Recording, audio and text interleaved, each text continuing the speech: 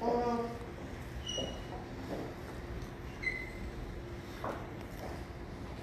Uh, good afternoon, everyone. My name is, let me just over, Lauren Raysor of the Law Office of Lauren P. Raysor. I have practiced law for over 25 years, have been a former prosecutor and various legal advisors for Hope Marable, and she will uh, address some of the issues uh, that took place on April 6, 20. It's not a political event. It is addressing the legal issues. There's no endorsements here. Pretty much, she will address some of the things that happened on April 6th.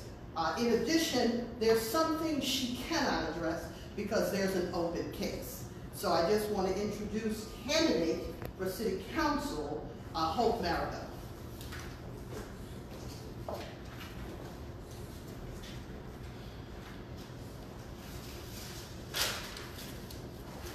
Good afternoon. My name is Hope Marable. Sorry. Thank you to each and every one of you for coming.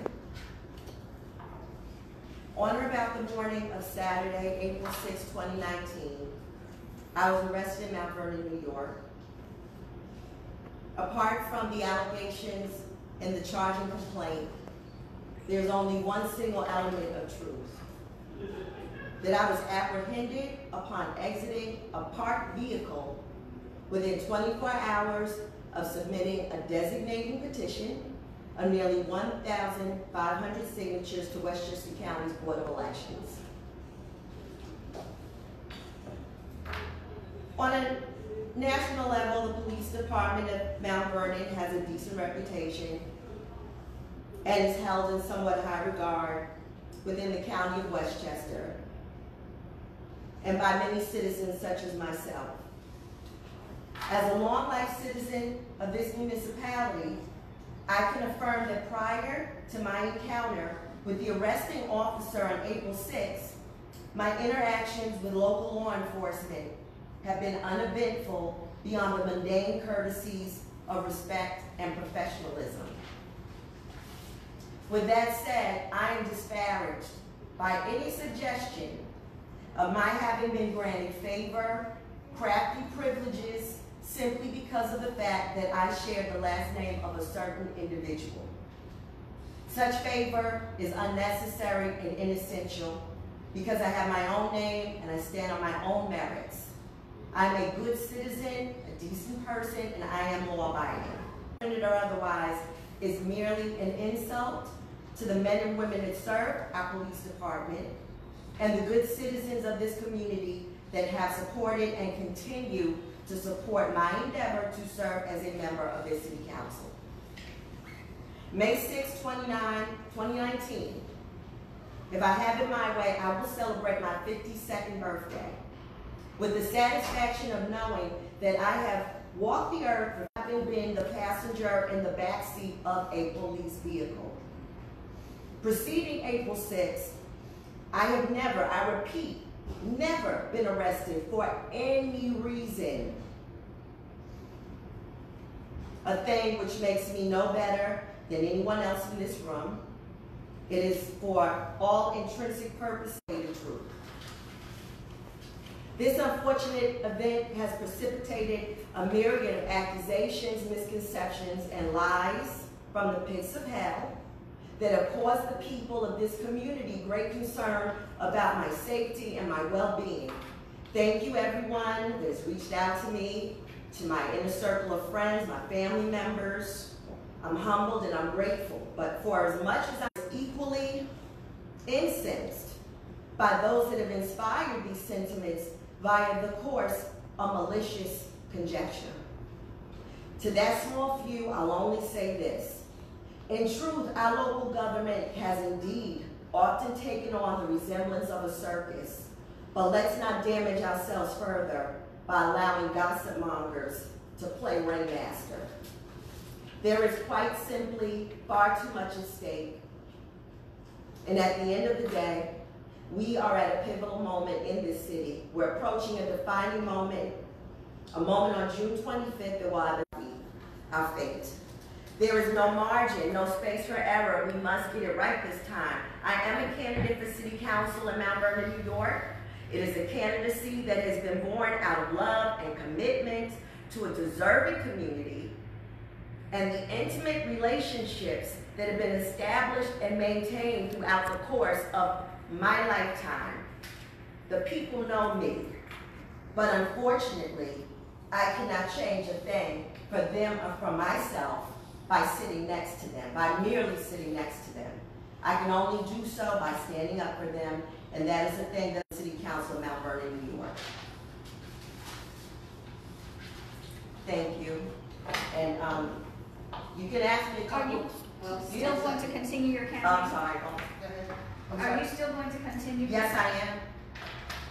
The criminal complaint says that your eyes were glassy, you had an odor of alcohol. Lie. Wait, wait. Pardon me, I'm sorry. her finish it. I'm sorry, I That's, no, apologize. it's fine. I'm just, your, the car was swaying, you had impaired speech, glassy eyes, odor of alcohol.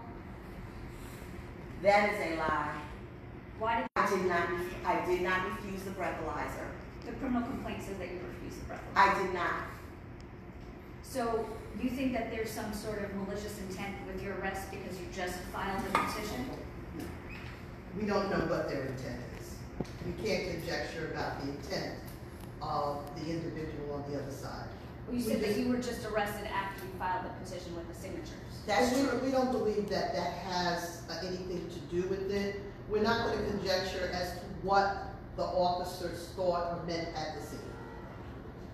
The allegation of giving a, a different name at all? Those you No. accusations? No. Any other questions? Do you know Elisa Godet? Yes. So how would, if you didn't give it to them? With regard to those facts, uh, those facts will come out during the criminal case, uh, that will be handled by her second counsel. Uh, the bottom line is, uh, Ms. Marable believes that she will be vindicated at the end of this case, but we want to make sure that the people of Mount Vernon have an opportunity to choose a candidate of their choice. So by, uh, putting to rest some of the allegations, one, there has not been any criminal arrest based on, uh, my findings, uh, prior to this arrest. Uh, there was no suspended licenses at that time of the arrest, none of that. So we want to make sure that the, the people out there who are looking to vote, who are looking at all kinds of internet and Facebook, uh, types of, uh, allegations, uh, we want to make sure that they get the truth. There are no DWI arrests in the background, Miss Marable. So I want to make sure that the community is aware of those factors. The issue of the case will, uh, will bear out in the criminal court in, uh, through her lawyer that's handling the criminal part. I know there was also talks of not showing your license at all. Well, we're not gonna get into the facts and dispute. The police officers also have allegations that they made. Uh, we dispute those allegations vehemently. Uh, they can only be dealt with in the courtroom situation, of course not here. But some of the innuendos and some of the, um, uh, the allegations surrounding, we have to kind of put to rest. And especially since it is, uh, the allegations are very serious, uh, driving, possibly drunk, and, and if someone sees those headlines, do you want to say anything to them? I know you touched a little bit on it. Do you want to say anything else to the constituents about those claims or allegations of something so serious? I'll repeat what I stated before. I was apprehended from, and I'll stop there for now. You just want to introduce, uh, former Senator, or Assemblyman, Eric Stevenson, who is a supporter of Ms. Hope Marable. Um, so I just, uh, he's here, um, and he's here in Mount Vernon and wanted to just stop by to let you know that he's also lending his support, uh, to Ms. Marable. Can I ask, so you, you said specifically that there was no suspension of the license at the time of the arrest, and now it was. Now, well, obviously, when there's a DWI, that happens. Okay. When there's allegations of DWI, that happens. So at the time of the incident that her, The rumors of suspended license, there was no suspended license at the time of the arrest. and lastly, I know that you've, I mean, LoHUD did an extensive article that included arrest uh, in Rye and Bronxville. Um, what do you say to that or to LoHUD? I mean, they, Well, go ahead, Ms. Marable. No, that is, that is, that is a lie. I have not been arrested in Bronxville. I have not been arrested in Rye.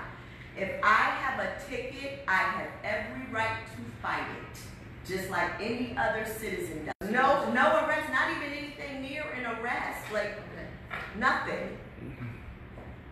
It's a lie. It's a flat out lie. Pardon me, I'm sorry. Okay. Thank you. Are there any other questions? Thank you very much. Thank you for coming out. Okay. Drop your mic. Is that a new thing, drop the mic? Right. Lauren, Lauren, what's the correct spelling of your last name? Raysor, R A Y S O R. R A Y. S O R, yes. And Lauren regular? Yes, well, what's regular? L A U R E? That's it. Old school. Thank you very much for coming out. Thank you. I'm gonna put this back. I'll come get it. Before it falls again, my bad. Yes.